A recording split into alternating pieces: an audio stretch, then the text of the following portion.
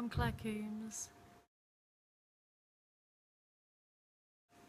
Everything really, just fitness and um, like the food, you know, thinking about what sort of food to eat and stuff like that. And uh, yeah, it's really good.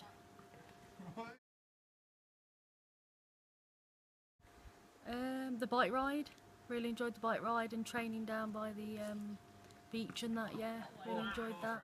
Yeah, good experience. Good Yeah, experience. Yeah, yeah, really good experience.